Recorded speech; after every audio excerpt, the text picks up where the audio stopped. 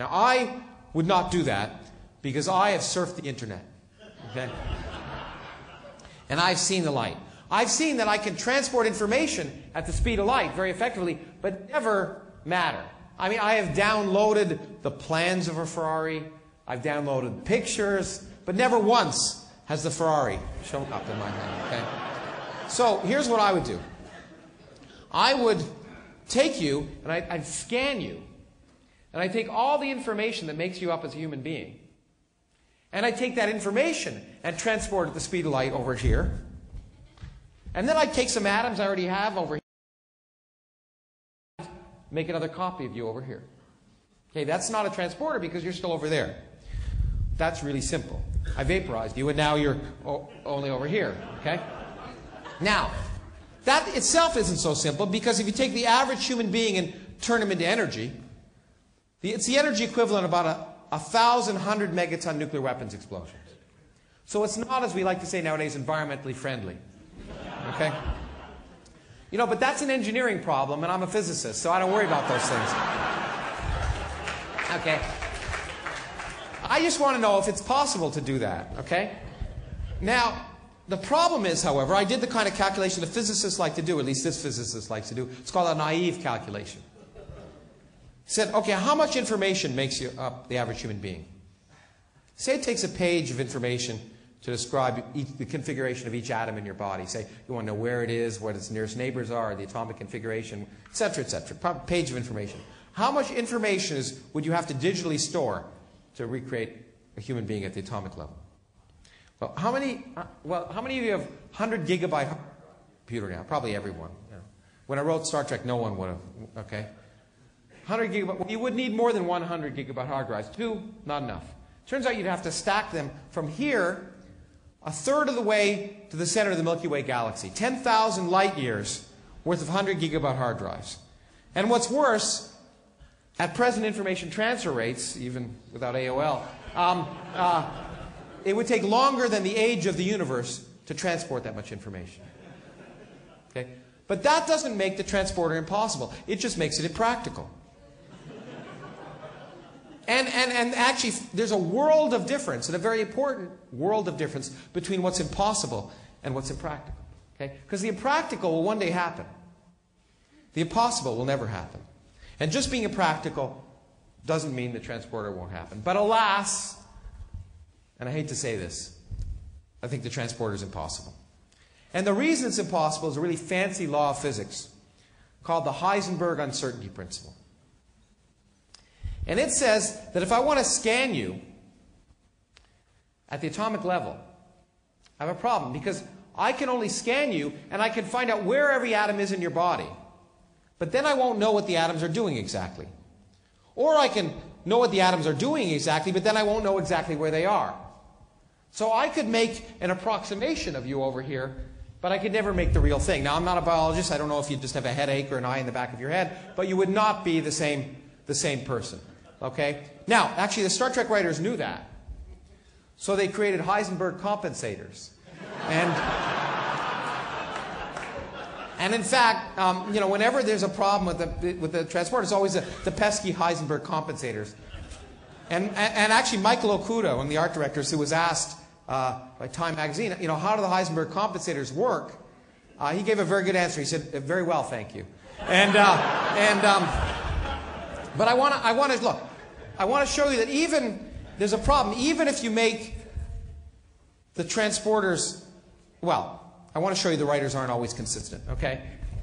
I want to show you one of my favorite clips from Star Trek. This should have won a, an Emmy for Best Canadian Actor with a Toupee. Um, uh, it's one of my favorite episodes called The Enemy Within. And um, in this, due to a transporter malfunction, Kirk comes back, well, you'll see, as two copies of Captain Kirk.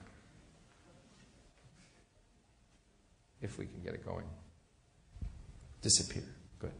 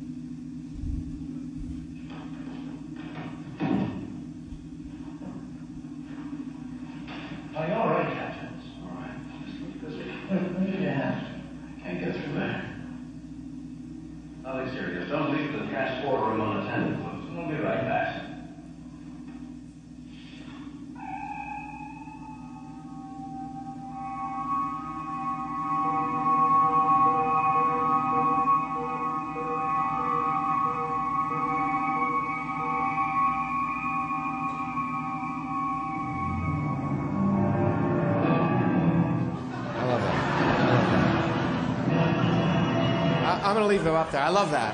Um, now, I due to a transporter malfunction, Kirk comes back as two copies of Kirk, the good Kirk and the bad Kirk.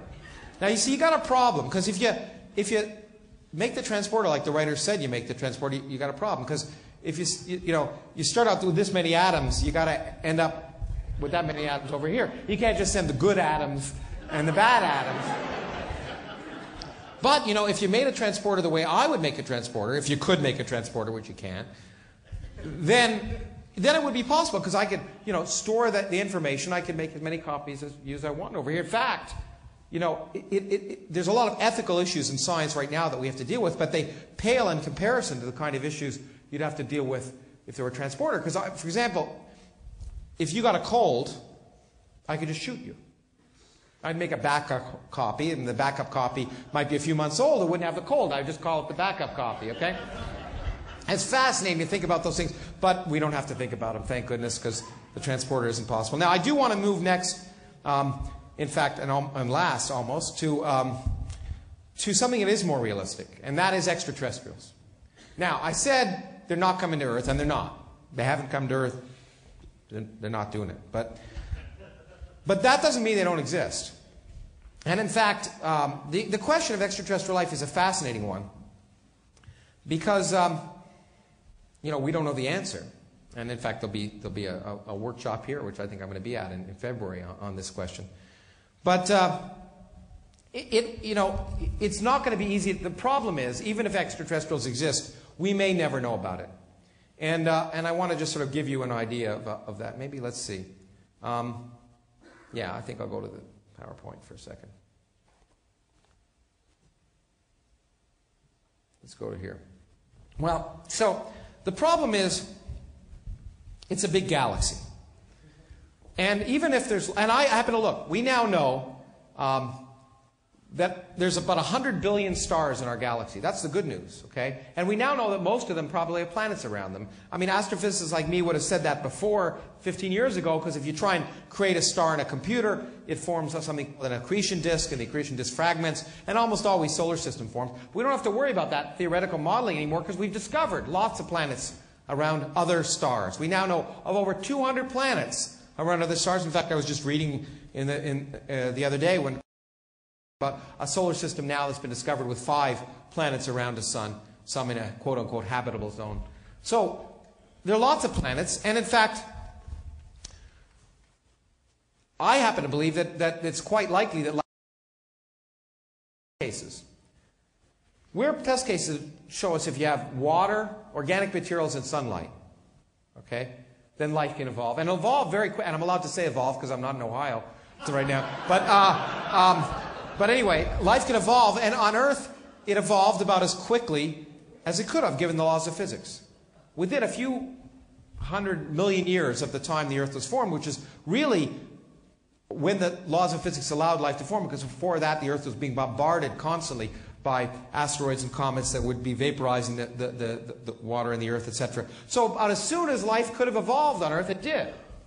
And, and all those things are ubiquitous around the, in the galaxy. There's, there's tons of starlight, tons of water when we look around, and there are even organic materials. I mean, one of the things we did learn from the Hale-Bopp comet was not that there was a little spacecraft behind it, but rather we took spectra of it. You can find the basis of amino acids on that comet. Okay? There are organic materials, or all of those things. So I'm willing to believe life is, is, is everywhere. In fact, it's probably elsewhere in our solar system.